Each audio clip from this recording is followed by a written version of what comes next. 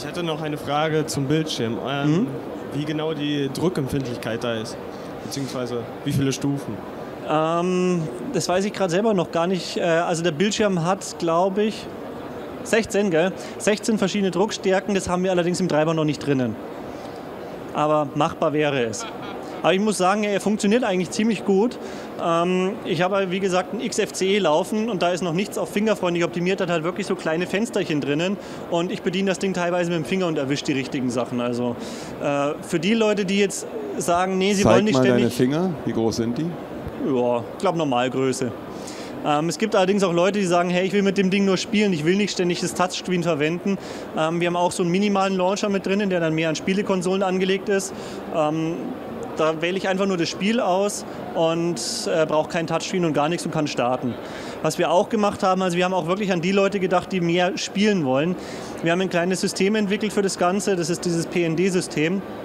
Das sind im Prinzip ISO-Dateien oder Squash-FS-Dateien, ähm, die noch eine kleine Zusatz, eine, eine XML-Datei mit dran haben, in der die Spieler alle äh, Bildschirmfotos haben können, Icons haben können und eine Kategorie haben. Das Ganze wird automatisch erkannt. Das heißt, ich lege meine SD-Karte ein. Alle PNDs, die drauf sind, werden automatisch erkannt und erscheinen sofort im Menü. Richtig kategorisiert. Das heißt also, wenn jemand wirklich keine Ahnung hat, er kann das Ding runterladen. Ich habe es auch selber schon mit dem Gerät im Internet probiert. Ich bin auf eine Webseite gegangen, habe mir das, die PND-Datei runtergeladen, auf den Desktop geschmissen und zack war sie im Menü drinnen. Also ich musste jetzt nicht mehr was umständlich installieren und entpacken, ähm, sondern ich kann einfach runterladen, draufschmeißen, spielen und wenn mir das Spiel nicht mehr gefällt, dann lösche ich die PND-Datei wieder. Das ist dann ein eigenes System. Das ist auch natürlich Open Source und vielleicht findet es noch in anderen ähm, Embedded-Lösungen in Einsatz, weil es haben uns viele gefragt, ja, warum erfinden wir das Rad neu, warum nehmen wir keinen Package Manager, die es ja für Linux schon in Massen gibt. Das hat aber ein großes Problem. So ein Package Manager basiert immer auf einer Datenbank, wo er sich merkt, was installiert ist. Wenn die Dateien auf einmal weg sind, dann kommt er gar nicht mehr damit zurecht. Das heißt, wenn ich jetzt die, Spiele auf SD-Karte habe und ich installiere über einen Paketmanager und mir geht die SD-Karte kaputt, dann weiß das das System nicht. Das heißt, im System tauchen die ganzen Programme noch auf, aber sie existieren nicht mehr. Das kommt dann irgendwann zu einem riesen Chaos und ich kann mein System eigentlich komplett neu aufsetzen oder sagen, installiere mir alle Pakete nochmal neu. Und genau aus dem Grund haben wir eben so eins gemacht, wo wir sagen, okay, in dem Fall reinlegen, wird erkannt, wird als Filesystem gemountet und kann einfach gestartet werden. Also ist jetzt nur die Software offen oder ist jetzt auch das Board ähm, auch offen, also wie das Beagleboard? Also äh, das habe ich vorhin schon mal gesagt, das Board an sich ist noch nicht offen. Einfach aus dem Grund, wenn wir es damals schon geöffnet hätten, dann hätte es tatsächlich sein können, dass irgendein großer Hersteller sagt, hey, die Idee ist gut, das Board habe ich den Schaltplan schon da, das produziere ich jetzt in Massen und kommt uns zuvor. Dadurch, dass wir eben eine kleine Gruppe sind und äh, auch nicht die Finanzen haben, um mal Geld reinzustecken und es auch größtenteils in der Freizeit entwickelt haben, gab es eben viele, viele Verzögerungen, auch durch Unwissenheit von uns. Und dadurch ist eben dazu gekommen, dass es zwei Jahre lang gelaufen hat. In der Zeit hätte das ein anderer Hersteller locker nachbauen können. Ähm, ich würde nicht ausschließen, dass wir es überhaupt nie veröffentlichen. Also wenn das Gerät sich wirklich etabliert hat, wir haben zumindest unsere Ausgaben wieder drinnen, damit wir nicht ganz im Miesen stehen, äh, kann ich mir gut vorstellen, dass wir das Ganze auch mal veröffentlichen. Also laut Wikipedia steht das O von OMAP für Open, aber OMAP ist jetzt nicht irgendwie offen, oder? Der OMAP ist eigentlich ein Prozessor von, von äh, Texas Instruments. Aber dass der offen ist, das wäre mir neu. Also gut, wo sich Texas Instruments Mühe gibt, muss ich sagen, ist, dass die Treiber, die sie entwickeln, äh, offen werden. Es sind zwar noch einige Closed-Source-Treiber dabei, allerdings auch der WLAN-Treiber und die OpenMax-Hardware-Beschleunigung, die wird schon recht offen.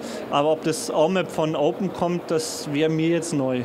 Ähm, Nochmal eine Frage an Sie mhm. persönlich. Mhm. Ähm, Sie haben einen normalen Job und Sie äh, entwickeln nebenbei noch ein Open Source Spiele-Handheld. Ähm, wie machen Sie das? Arbeiten Sie dann nur Halbzeit oder wie machen Sie nee, das? ich arbeite eigentlich doppelt. Also so. gerade jetzt in den letzten Wochen, wo wirklich viel los war, ähm, meine Freundin ist auch anwesend, die kann auch das gerne bestätigen. Sie hat sehr wenig von mir.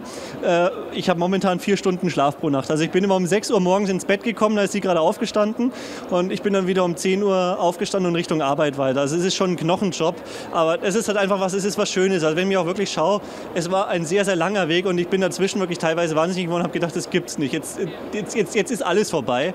Aber es ging halt dann immer wieder weiter. Jede, jedes Problem, das wir hatten, haben wir gelöst. Es ging weiter und jetzt sind wir fast so weit. Und es erfüllt einen natürlich auch mit Stolz. Und da sage ich jetzt, okay, jetzt die letzten Skripts, die noch fürs Betriebssystem dabei sind, die mache ich jetzt nachts. Die paar Stunden Schlaf hole ich dann irgendwann nach. aber es ist sehr, sehr viel Enthusiasmus dabei. Also bezahlen könnte es wahrscheinlich keiner. So, jetzt kommen wir zur letzten Frage. Ja, wenn wir schon bei dem Problem waren, da wollte ich mal fragen, was war für Sie das Problem, das so richtig in, an die Nieren ging? Also da gab es eigentlich mehrere. Das erste Problem war, das war, äh, hatte einer der Hauptleute, wie gesagt, Craig aus England. Ähm, er hat zwar der Bank vorher Bescheid gegeben, äh, dass Riesenbestellungen kommen, weil wir ja an einem Tag gesagt haben, so die Vorbestellungen gehen los und wir haben halt dann wirklich 3000 Geräte an einem Tag verkauft und dann kamen eben 3000 Mal diese, damals waren es noch 250 Euro auf ein Konto. Viel haben über Kreditkarte gezahlt und bei Kreditkarte haftet leider das Unternehmen. Daraufhin ist erstmal das Bankkonto gesperrt gewesen und für mehrere Monate ging gar nichts, weil wir das Geld nicht zur Verfügung hatten das war, wo ich mir auch gedacht habe, oh je, jetzt, was machen wir? Wir können nichts machen, wir können nicht nach vorne, nicht nach hinten. Wir wissen nicht, wie lange es mit der Bank dauert, bis sich löst. Es hat dann tatsächlich ein paar Monate gedauert, aber es hat funktioniert. Dann ein anderes, das waren immer so Geschichten, wie ich dann auf einmal gehört habe. Also Wi-Fi war auch noch was, was an die Nieren gegangen ist und noch geht, weil wir wussten am Anfang nicht, ist es jetzt die Hardware, dass Wi-Fi nicht geht oder ist es die Software. Inzwischen haben wir mehrere Tests laufen lassen und sind eigentlich zu 99 Prozent sicher, es ist wirklich die Software, weil es einfach der SDIO-Treiber ist, der fehlt. Wi-Fi an sich geht, nur die Übertragung an sich nicht. Dann natürlich unsere, unser anderes Problem, wir lassen die Gehäuse in China produzieren, weil überall anders, da hätten sie es zehnfache gekostet, da hätten wir das Gerät auch nie auf den Markt bringen können. Aber wer mal mit China zusammengearbeitet hat oder sich mal Dokumentationen anschaut, die Arbeitsmoral da ist schon extrem interessant. Also die Arbeitsmoral in China ist so, man muss wirklich einen vor Ort sitzen haben, ansonsten tun die nichts. Und sie sagen einem immer, also sie kennen auch in ihrem Sprachwortschatz das Wort soon, also bald gibt es für die überhaupt nicht. Zeitliche Angaben gibt es da überhaupt gar nicht. Wir haben dann irgendwann mal einen gefunden, der Chinesisch spricht, den wir dann als Mittelmann eingesetzt haben und der dann sehr, sehr viel geklärt, was da jetzt eigentlich passiert ist. Und seitdem funktioniert es auch besser. Also da ist jetzt auch im letzten Monat, glaube ich, an den Gehäusen mehr passiert als in den letzten fünf Monaten davor. Das war dann auch sowas, weil du denkst immer wieder, du hast wieder einen Termin. Die sagen dir, da kommt was, da kommt was. Du sagst der Community weiter in guten Glauben, ja, sie haben gesagt, da kommt was. Und wenn natürlich nichts kommt, dann kommen die Rufe aus der Community wieder laut. Es sind zwar immer nur ein paar wenige von, wenn ich schaue, wir haben 4000, ein paar fangen dann an zu jammern und zu sagen, äh, jetzt ist wieder nichts, jetzt sag mal was, jetzt sag mal was und du sitzt selber da. Ich weiß doch auch nichts genaueres, als was ich gerade gesagt habe. Lasst Zeit, wir erfahren schon noch was. Aber es geht natürlich auch schon an die Nieren, vor allen Dingen, weil man ja wirklich bedenkt, was einem immer im Nacken sitzt, ich habe Leute, die haben 300 Euro für das Ding finanziert. Wenn irgendwas schief geht, dann darf ich persönlich 300.000 Euro zurückzahlen. 300.000 Euro, die ich an sich äh, so nicht habe. Das heißt, ich dürfte im Prinzip alles, was ich in meinem Leben jemals erwirtschaftet habe, wäre ich erstmal los. Also das ist schon so eine Geschichte, die sitzt einem im Nacken, aber jetzt so kurz vor Schluss muss ich sagen, es war eine Achterbahnfahrt, aber sie war irgendwie wirklich ein interessantes Erlebnis. Ich möchte es auch nicht missen.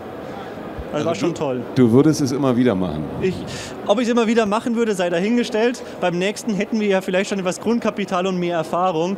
Aber ich muss sagen, ich finde es echt fantastisch, auch was die Community, wie geduldig die war. Und es zeigt auch wirklich, dass es nicht nur mehr Kommerz in dieser Welt gibt, sondern dass es auch Leute gibt, die wirklich dahinter einem stehen, auch wenn es mal Probleme gibt. Also es ist wirklich ganz fantastisch und das habe ich so in der normalen Welt sieht man das selten. Da geht es immer schnell, schnell und es gibt gleich Beschwerden, wenn was nicht funktioniert. Aber hier in diesem ganzen Open Source Bereich, da sind viel, viel geduldige geduldige Menschen, die auch wirklich drauf warten.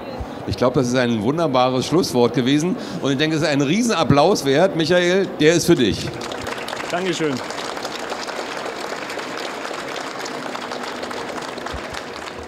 So, liebe Leute, hier geht's.